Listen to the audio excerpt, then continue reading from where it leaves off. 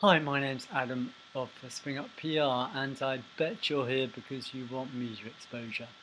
Um, either national exposure, regional, or trade exposure for perhaps a product, a new product, a new service, or, or ongoing uh, efforts to raise the profile of your, your business.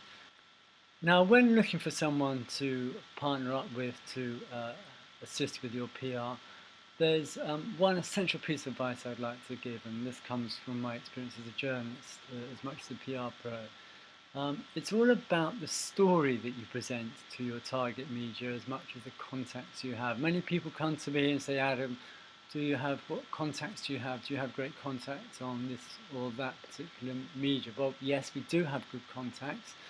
Um, but whether it's the editor of that media or uh, junior reporter, the one thing that they will want is a great story.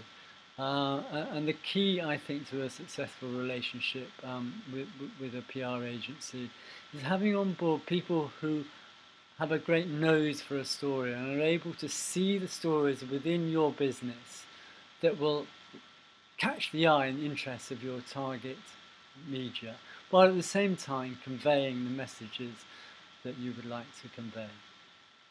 Um, and well, why should you listen to me? Well, as I said, I'm a former journalist. I was a freelance journalist for 12 years, and I made my living from pitching and selling stories to the media. And I worked with hundreds of PR agencies who were pitching me.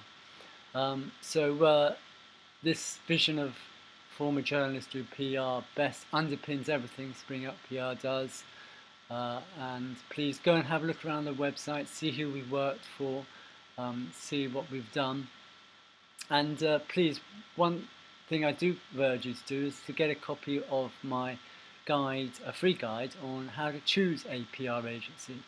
It's based on, on my experience and years as a journalist as much as uh, running a PR agency. Um, you can get uh, details about this guide from our website or you can uh, ping an email to me there, Adam James at Springup PR. Uh, please fire away with any questions you may have and I'd be delighted to hear from you. Thanks for your time.